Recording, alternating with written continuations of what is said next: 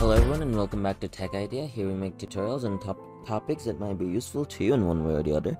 And today in Spotify we're going to be looking at on how you can make a shared playlist. So what a shared playlist is, in this playlist you can add song, the person you're you're collaborating with or sharing with can also add their songs to this playlist and it's basically you both listen to the same type of music so you both listen add songs to this playlist and you know so how do you do this? You first you want to go to your library.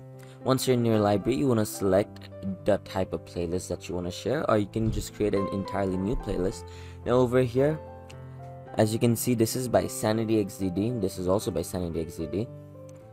Even though it should be the same account, as you can see this one I can invite but this one I can't invite same goes for this one I can only make this private and this one I can invite collaborators. So I'm not sure why that is an issue.